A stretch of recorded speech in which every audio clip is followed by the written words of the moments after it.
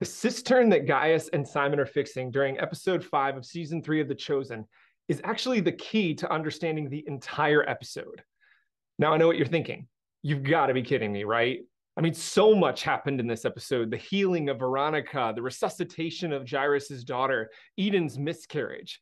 It's easy to see how the events involving Simon and Gaius could almost get lost in all of that. But it's actually this act of repairing the cistern that shows us what we really need to understand about these events. And when we see all of this through the lens of the context, the history, and the scriptural connections of these key moments, well, it will become so much clearer. So if you're interested in seeing those connections and diving even deeper into these events, then join me for this episode of The Chosen Explained. Now, before we dive in, let me take a quick moment to thank the sponsor of today's video, Angel Studios. And if you're not familiar with Angel Studios, they're the studio who brought you The Chosen. And now that season three is out and available to everyone, you're definitely going to want to download the Angel Studios app. I'm going to share with you a lot of insights and details today that will make you want to go back and rewatch every episode of season three. And the Angel Studios app is the place to do that. With the Angel Studios app, you'll be able to enjoy all of the seasons of The Chosen, including the new episodes, on your phone and on every other major streaming device. They even have a TV app on Roku, Apple TV, Fire Stick, and much more. Another great thing you can do on the app is pay it forward.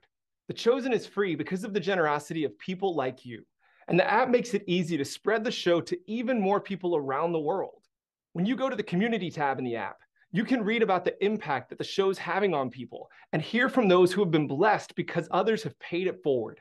And you can also hear from people who have felt led to pay it forward themselves, like Marlene. Hi, everybody. My name's Marlene. I'm a Jewish believer in Jesus. I came to faith in 1977 despite my anti Jesus bias. When I first saw ads for The Chosen, I was very skeptical since most Christian movies seem to be pretty hokey. But I got hooked after the first episode and I've been a happy contributor paying it forward. And I think it's an amazing series. It's reaching so many people that wouldn't otherwise be reached. So I hope it continues for another four seasons. And God bless you all. When you give, it opens the door for the Lord to change lives through shows like The Chosen and many others that you'll find on the Angel Studios app. So take some time to check out the app and read through the stories of those who are being blessed. And don't forget, you can watch the live premiere of the brand new episode of season three of The Chosen on Sunday at 7 p.m. Eastern on the Angel Studios app. You'll find a link down below in the description and up here in the card where you can download the app. And right now, let's dive into our video.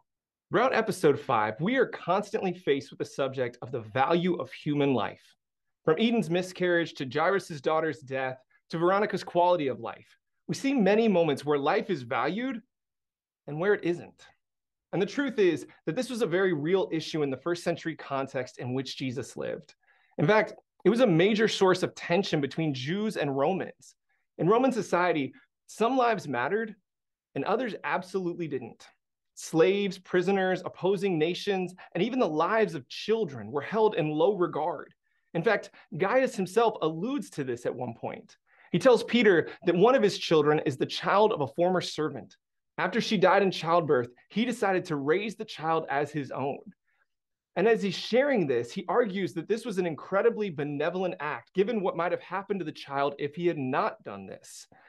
You see, when a child was born, the midwife would present the child to the father, and he would then decide if he was going to accept or reject the child. If he thought that the child would be healthy and a positive addition to the family, then he would embrace the child, thus claiming the child as his own. But if he didn't embrace the child, then the child would literally be put outside and left to die. This was called exposure. In some cases, children would simply starve to death. In others, they would be seized and either sold into slavery or placed in brothels. These were the prospects for the child that Gaius embraced. And so it was truly a benevolent act, not necessarily normal in Roman society. In fact, it was more Jewish than Roman.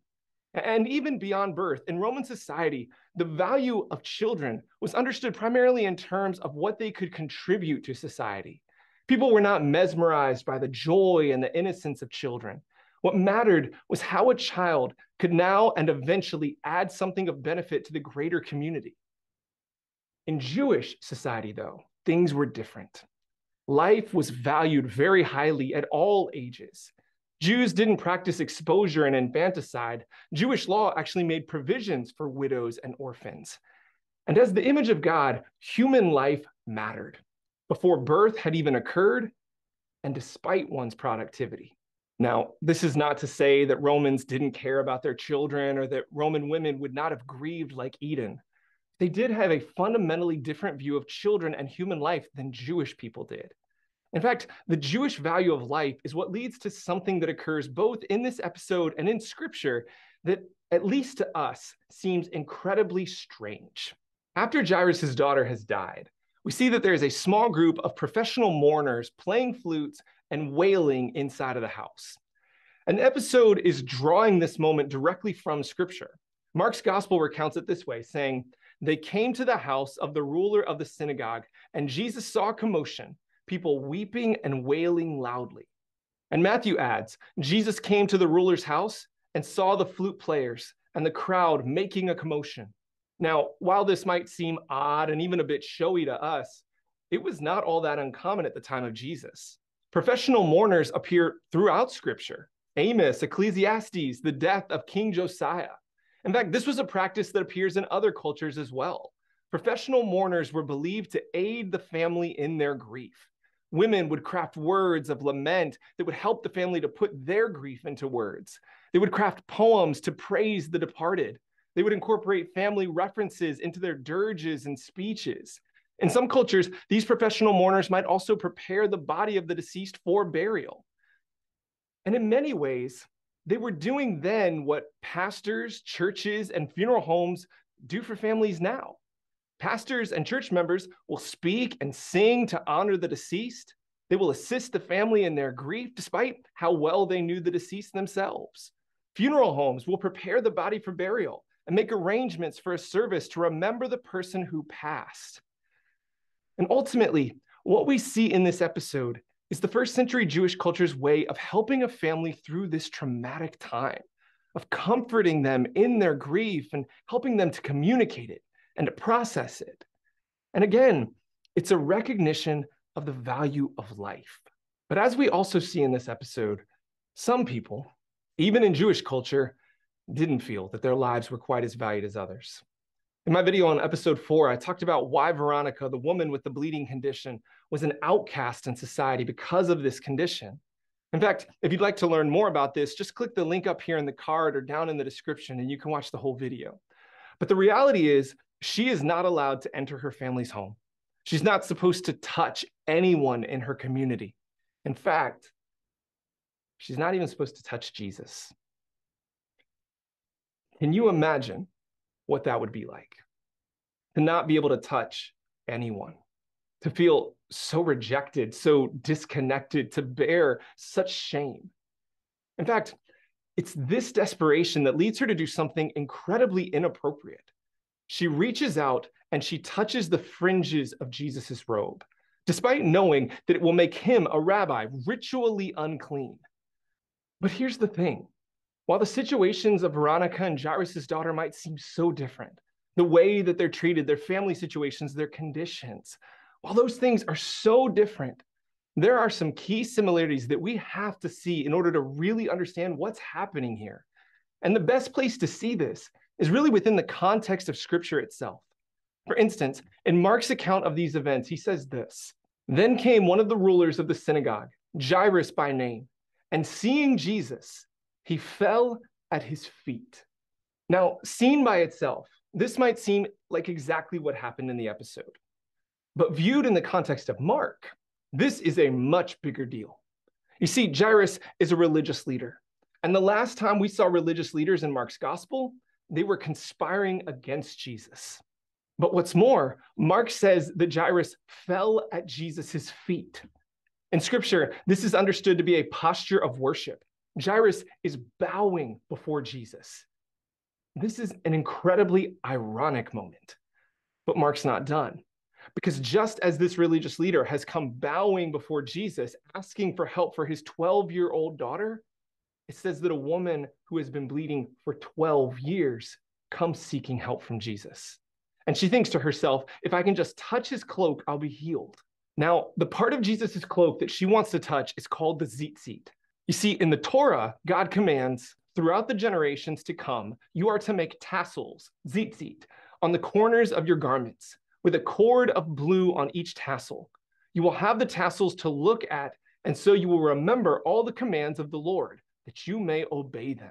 So, in order to obey this command, Jewish people would attach four fringes to their garments. This is what this woman is touching. And there's more. Because just like Jairus, after the woman touches Jesus, Mark says that she falls at his feet. Just like Jairus, she worships him. And in Mark's gospel, both the woman and Jairus use the same word when asking Jesus for healing. It's the Greek word sozo. But sozo doesn't just mean healed, it also means saved.